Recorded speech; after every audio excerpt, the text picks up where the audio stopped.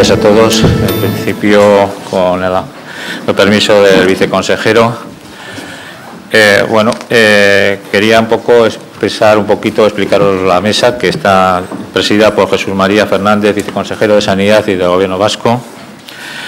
A su derecha, la señora Ollane Aguirre Goitia, concejala delegada de Área de Salud y Consumo del Ayuntamiento de Bilbao. A la izquierda del viceconsejero, la profesora doctora María Teresa Feito, representando a la universidad como directora de la Escuela Universitaria de Enfermería de la Universidad del País Vasco y yo un poco como codirector del curso. En principio, lo primero que es agradeceros a todos la asistencia a este curso y, como no, también agradecer eh, en este acto inaugural lo que vamos a hacer es, aparte de la inauguración oficial, luego entregar la medalla de Whisky y el diploma de honor de acceso vascular de 2011. Quiero también agradecer a la presidenta de la Fundación Española de Diálisis, María Teresa González, que está con nosotros, también a María Jesús Royán, presidenta de la Sociedad Española de Enfermería Nefrológica, a Rosa Inés Muñoz, que es la presidenta de la Sociedad del Norte de Nefrología, y representando a, la Academia de Ciencias de Enfermería, a la, también la profesora María Teresa Feijo, que es presidenta de la Academia de Ciencias de Enfermería de Vizcaya. Y, como no, también a todos los miembros de la Junta Directiva de la Sociedad Española de Diálisis, que bueno, ayer están acompañándonos y que ayer hicimos la primera reunión aquí en Bilbao de la sociedad.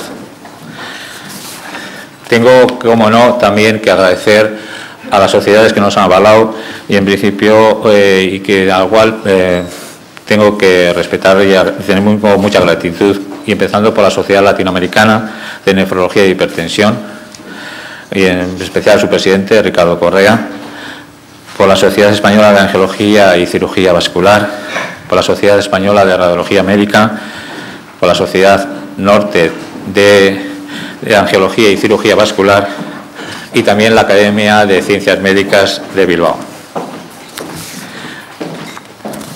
Aparte de estos agradecimientos, como no, a, todos los asistentes y a los ponentes y moderadores del curso.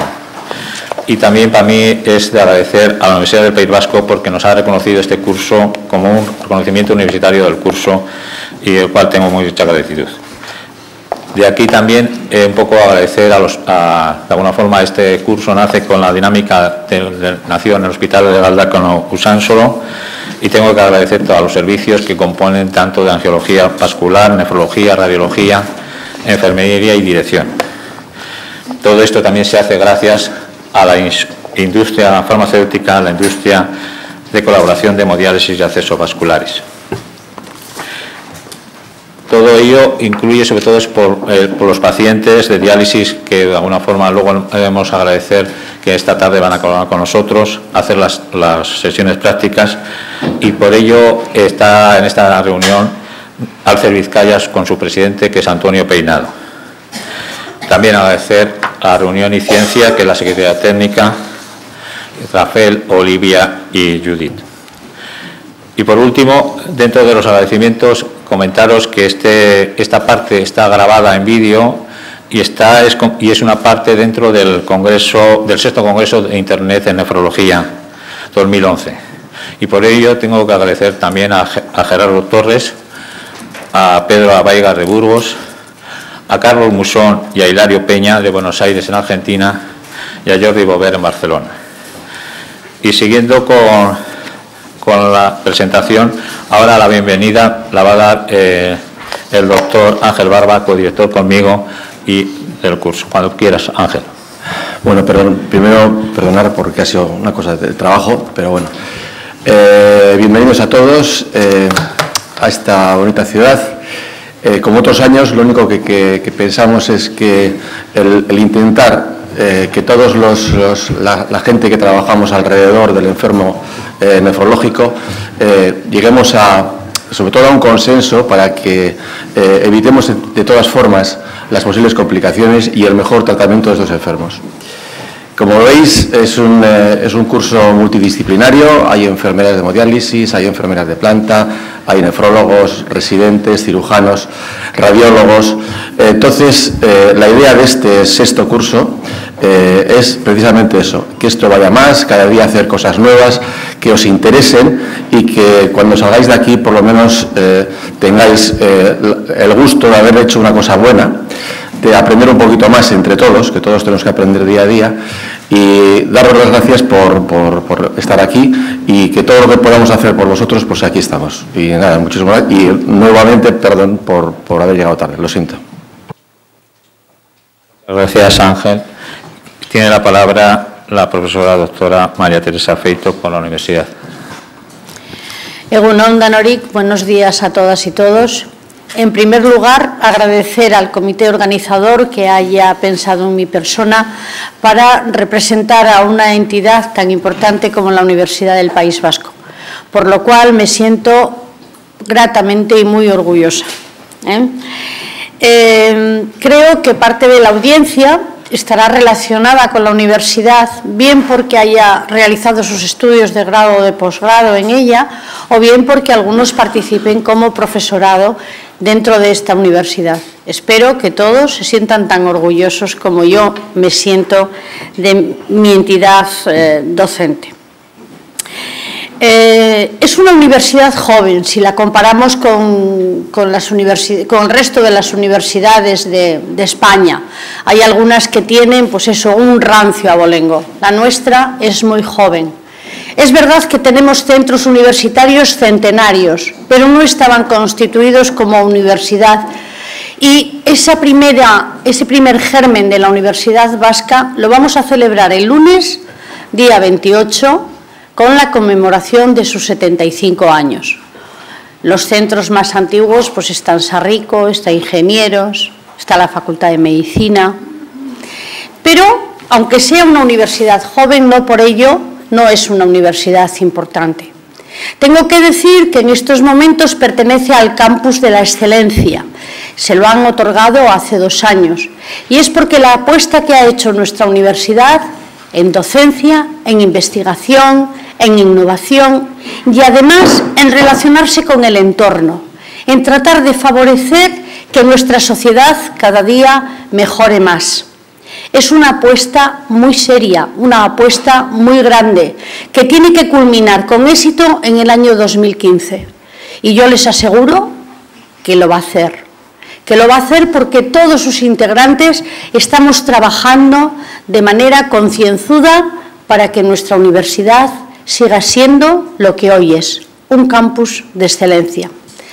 Dentro de esas características y de, esa apuesta, entre otras cosas, pues está esa relación con la sociedad, y nuestra universidad y, el Euskampus Fundación, que, que, ha nacido a partir de ese campus de la excelencia, está patrocinado y está apoyado por el Gobierno vasco, por los ayuntamientos, especialmente el de Bilbao, por clústeres de empresas, por sociedades de ocio, por todo aquello que tiene que ver con la investigación y la innovación. Por lo tanto, nos sentimos muy, muy respaldados en este proyecto. Hemos hecho montones de, mm, convenios, de conciertos, uno de ellos con Usaquidecha, muy, muy importante, y con otras universidades. Hoy en día podemos decir que ya está funcionando nuestro campus transfronterizo unido a la Universidad de Burdeos. Si tengo que hablar mucho de la universidad, pues podríamos ocupar todo el día y no es cuestión. Dicen siempre que eh, cuando nos dirigimos a alguien, si las alocuciones son breves, dos veces mejor. Por lo tanto, simplemente volver a agradecer al comité organizador, decirles que la Universidad del País Vasco es una universidad importante, seria, trabajadora y que la tienen ustedes a su disposición, tanto en formación como en investigación e innovación. Nada más, reitero mi agradecimiento y hasta la próxima.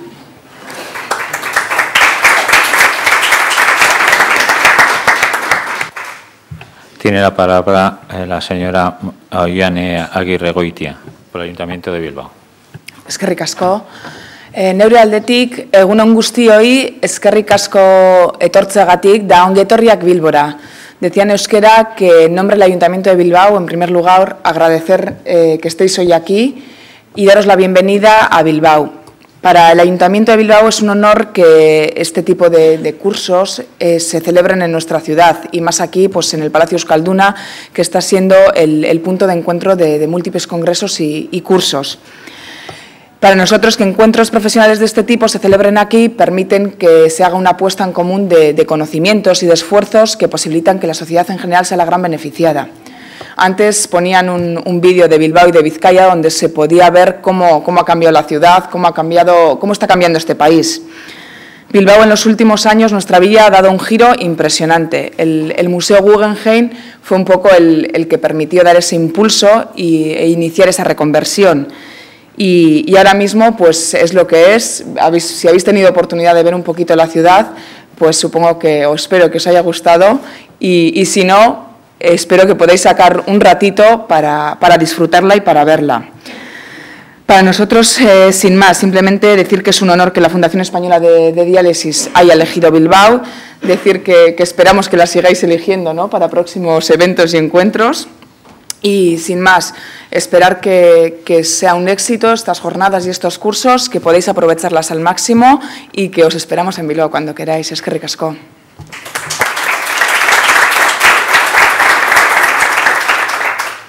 Tiene la palabra el doctor Jesús María Fernández por el Gobierno Vasco. Muy bien, pues eh, buenos días.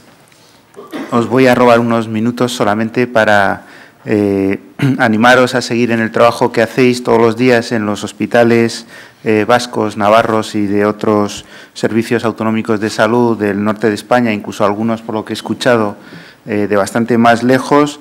Es importante vuestra labor y quisiera eh, contextualizarla en estos breves eh, minutos eh, en el sentido de que sabéis que la sanidad española está ante una encrucijada fenomenal como nunca antes se había conocido. Está en riesgo el poder mantener el nivel de calidad y de seguridad la atención sanitaria que prestamos a nuestros pacientes. Ayer mismo estaba yo en Madrid eh, con algunos de los eh, máximos responsables pues, de la industria sanitaria y, ponen sobre la mesa esta tremenda eh, deuda que ha acumulado la sanidad española de 15.000 millones de euros, que a ver cómo la, cómo la podemos resolver pero eh, yo creo que es el momento de eh, poner en valor, como se dice, el, enorme eh, significado que tiene la atención sanitaria para nuestra población. En primer lugar, porque es quizá de los pocos aspectos en los cuales hoy por hoy todavía la sociedad española tiene certeza. Uno ya no tiene certeza de si su eh, empleo va a permanecer, de si sus hijos encontrarán trabajo, de cómo será su jubilación, pero al menos tienen la certeza de que si se ponen enfermos y tienen la mala suerte de tener una insuficiencia renal crónica, que van a tener el mejor cuidado eh, médico o de enfermería eh, que se puede tener en cualquier país del mundo, gracias a vosotros y gracias al esfuerzo que hace la sociedad española para eh, contribuir con sus recursos al mantenimiento de esta sanidad. Por tanto, es un elemento de estabilidad eh, en un momento de tremenda incertidumbre social eh, fundamental que tenemos que preservar. Y además porque es, todo el mundo lo dice, la clave de futuro para salir, si es que podemos salir, yo estoy seguro que sí, pero a veces las cosas se ponen tan, tan oscuras que, también incluso flaquean las confianzas, pero vamos, yo estoy seguro que podremos salir, pero que la sanidad es justamente una, el, uno de los sectores que nos puede ayudar a Europa a salir de esta crisis, porque si está eh, claro es que no vamos a competir con los grandes países asiáticos eh, o africanos construyendo lavadoras, si podemos competir será desarrollando conocimiento, eh, nuevas técnicas, nuevos procesos eh, sanitarios. Por eso es tan importante jornadas como esta, en la cual desarrolláis, compartís nuevos conocimientos, nuevas técnicas, nuevas maneras de hacer, que seguramente se podrá también pues trasladar a otros países y, aprovechar ese conocimiento a través de las distintas empresas del sector que, que tienen esta vocación exportadora. Yo creo que entendiendo que la sanidad es fundamental, tanto ahora para afrontar la crisis como para salir de ella, eh, hay eh, algunas cosas que tenemos que hacer. Una de ellas, evidentemente, es reestructurar esta deuda eh, que ha acumulado la sanidad española. Pero yo creo que si, aceptamos que se pueden poner 1.500 millones de euros para rescatar un banco que, ha entrado en quiebra, posiblemente por unas malas decisiones de inversión durante unos años, pues razón de más para también reestructurar esta deuda eh, eh, sanitaria porque hay fórmulas eh, viables y, tenemos que ponernos de acuerdo en cómo, lógicamente, no inmediatamente, pero sí en un periodo de años determinados, poder afrontar y, pagar esta deuda que tienen nuestros suministradores. En segundo lugar, si hacemos un esfuerzo de reestructurar esa deuda, también el sector sanitario tiene que responder con un mayor esfuerzo, con una mayor productividad, con un mayor trabajo. Tenemos que trabajar todos un poco más. Eh, no puede ser, eh, porque la sociedad española no lo puede entender, que el absentismo en la sanidad pública sea el doble que eh, en cualquier otra empresa privada. algo tenemos que hacer para poder reducir estas tasas de absentismo y, en definitiva, hacer más servicios eh, eh, con, los recursos que tenemos.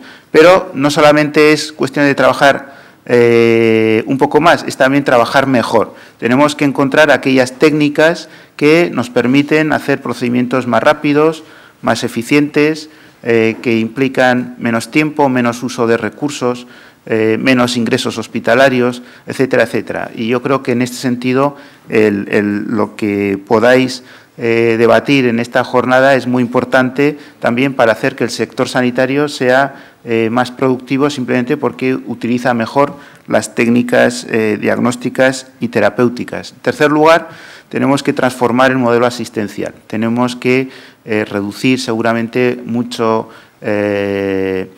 ineficiencia, mucho uso innecesario de desde las consultas médicas hasta eh, las consultas de las visitas a urgencias o los ingresos hospitalarios y tenemos que reorientar el sistema sanitario, como sabéis que estamos haciendo en Euskadi, hacia una mejor atención de los enfermos crónicos. Vosotros y vosotras trabajáis fundamentalmente con enfermos crónicos, con la insuficiencia renal crónica y sabéis como nadie eh, que eh, necesitamos poder modificar eh, cómo abordamos estas eh, patologías crónicas, que son las más, eh, las más frecuentes, las que tienden a crecer, y desde cómo prevenir la diabetes que termina en una insuficiencia renal crónica u otras enfermedades o el síndrome metabólico, hasta pues cómo hacer que un paciente con una patología ya instaurada pues pueda conocer mejor cómo manejar su enfermedad y tener que recurrir menos eh, cuando así es posible, a eh, los eh, dispositivos sanitarios.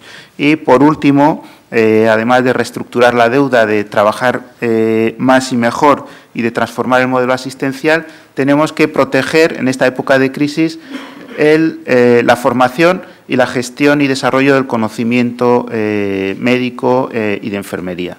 Eh, hay que seguir apostando por la innovación y por la investigación, por el desarrollo del conocimiento, porque, como decía antes, eh, es fundamental tanto para mejorar la productividad de los servicios sanitarios como para poder también crear valor y poder exportar todo este conocimiento, transformarlo en más empleo, en nuevos medicamentos, en nuevas eh, técnicas y en nuevos productos sanitarios.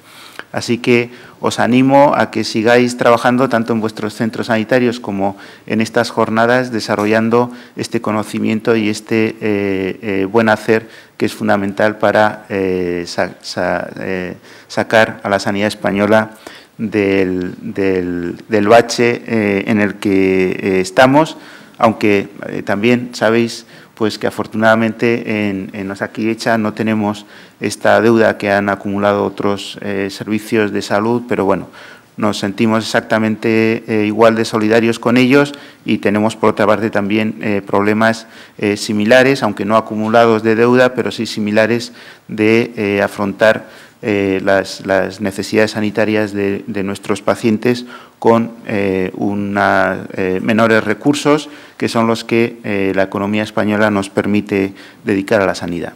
Así que muchísimas gracias y adelante, eh,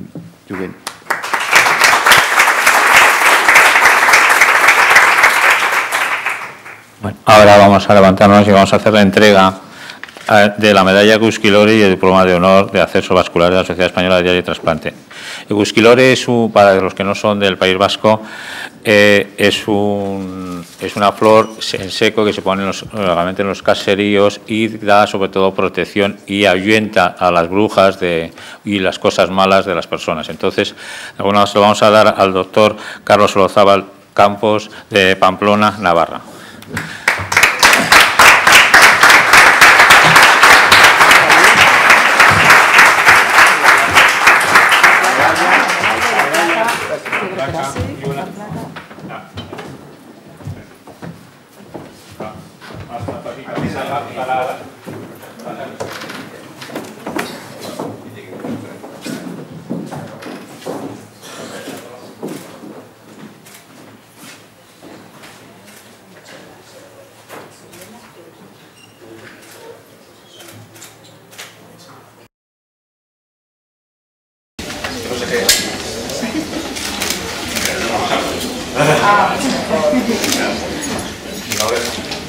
Me habéis pillado de sorpresa y estoy un poco emocionado, ¿no? Muchísimas gracias a la Sociedad Española de Diálisis y Trasplante por este, esta medalla. Muchas gracias también a Julen, ¿eh? porque ha sido un compañero toda la vida y siempre me ha invitado a estas reuniones y he participado con ellos. Y estoy también tremendamente orgulloso de haberlo recibido en Bilbao, porque como decía la doctora Feito antes, ¿eh? Yo me formé en las cruces y, me hace ilusión también que me den el premio en Bilbao. ¿eh?